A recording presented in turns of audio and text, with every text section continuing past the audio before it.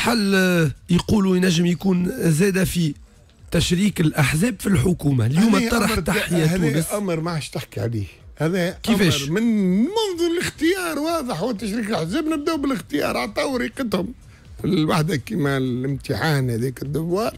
الاستمارة. هي رجعت لهم. رجعت لهم non non concluante فهمني وعطى الرئيس رغم هذه مسألة الأحزاب في المرحلة الحالية. انه معناها الوضع غير ملائم للأحزاب اليوم معناها. ثم حتى موجة عند الرأي العام أن تحمل الأحزاب آه، آه، جزء كبير مما يحدث في هذا المشهد.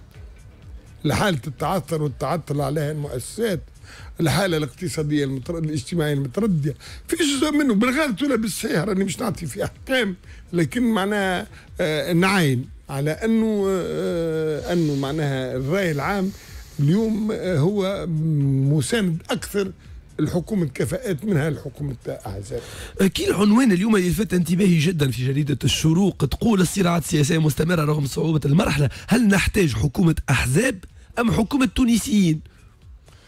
ماليش تحكي على حكومة إنجليز ولا نعرف. لا لا باش يعبر على الوضع نتاع هذا كل فزورة فهمتني؟ أحزاب ولا ولا تونسيين معناها ما تعنيش التزام ولا آه انخراط ولا. تونسيين معناها بالهوية تونسي بال بالسجلات.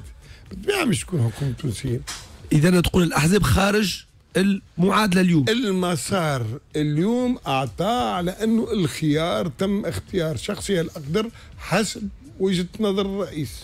والرئيس مارس صلاحيته الاتجاه هذا فإنه لم يبحث الرئيس على تفاهم مع الأحزاب.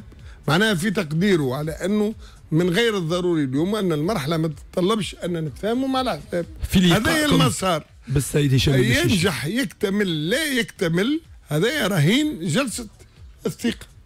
وهنا جايين لقائكم بالسيد هشام المشيشي. نذكر لي توازنات القوة داخل البرلمان تعطي تقريبا آه كما قلت انت l'égalité لازم مباراة الحسم 100 ضد 100 النائب 17 في الوسط تقريبا.